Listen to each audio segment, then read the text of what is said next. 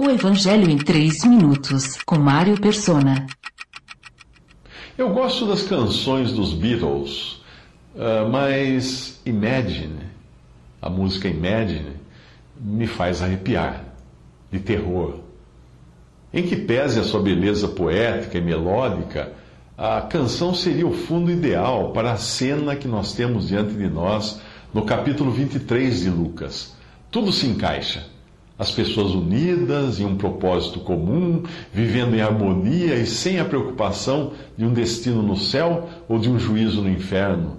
Imagine tudo isso e o mundo viverá como um só, cantava John Lennon. De judeus a gentios, de reis a ladrões, de sacerdotes a soldados, aqui nessa cena, todos são um só. Os chefes dos sacerdotes e os mestres da lei estavam ali acusando com veemência, acusando Jesus com veemência. Herodes e seus soldados ridicularizavam e zombavam dele. Herodes e Pilatos, que até ali eram inimigos, naquele dia tornaram-se amigos. Igualmente o insultavam os ladrões que haviam sido crucificados com ele isso está em Lucas 23, de 10 a 12, e Mateus 27, 44. No Éden, os nossos ancestrais creram na promessa da serpente: vocês serão como Deus, conhecedores do bem e do mal, diz em Gênesis 3, 5. O que o diabo não contou foi que, apesar de se tornarem conhecedores do bem e do mal, eles não teriam poder para fazer o bem ou evitar o mal. Ao decidirem ser como Deus, romperam seus laços com o Criador e acabaram nos laços do diabo, em que a vontade dele estão presos, como fala 2 Timóteo 2,26. Hoje o homem sonha e canta uma paz mundial, um mundo livre de diferenças, com um só propósito, porém sem Deus.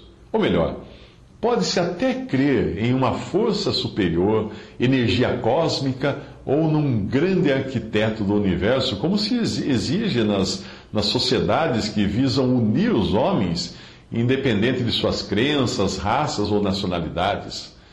Como nada acontece sem um denominador comum, nada melhor do que a inimizade contra Deus para servir de elemento aglutinador da paz. Existe nessa cena desse capítulo um frenesi de atividade humana com todos falando e todos votando com unanimidade. Apenas um está em silêncio: Jesus. Herodes interrogou-o com muitas perguntas, mas Jesus não lhe deu resposta. Lucas 23, 9. Hoje, quando a violência e a iniquidade correm soltas no mundo, Jesus está em silêncio. Ele voltará a falar ao mundo, porém não serão palavras de graça mas de juízo. No livro de Apocalipse ele diz: Continue o injusto a praticar a injustiça, continue o imundo na imundícia, continue o justo a praticar justiça, e continue o santo a santificar-se. Eis que venho em breve. A minha recompensa está comigo e eu retribuirei a cada um de acordo com o que fez. Apocalipse 22, de 11 a 12. Visite 3minutos.net. Dúvidas? Visite respondi.com.br. Adquira os livros ou baixe o e-book.